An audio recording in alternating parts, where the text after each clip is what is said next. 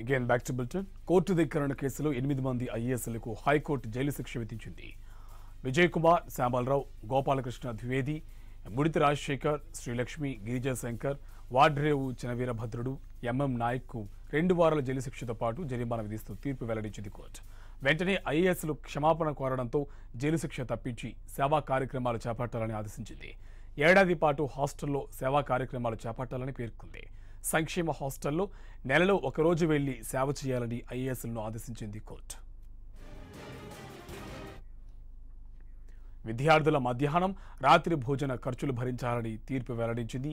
సామాజిక సేవకు అంగీకరిస్తే క్షమాపణలు అంగీకరిస్తామని పేర్కొంది. సామాజిక సేవ చేసేందుకు ఎనిమిది మంది ఐఏఎస్లు సిద్ధపడినట్లు వెల్లడించడంతో జైలు శిక్ష విధింపు తీర్పును సవరించినట్లు హైకోర్టు పేర్కొంది. సుమోటోగా స్వీకరించిన హైకోర్టు ప్రభుత్వ పాఠశాలల్లో గ్రామ వార్డు సచివాలయాలను తొలగించాలని రెండు వేల ఇరవైలో ఇచ్చిన ఉత్తర్వులను ఏడాది పాటు అధికారులు పాటించుకోకపోవడంతో సుమోటోగా కోర్టు ధిక్కరణ కేసు నమోదు చేసింది.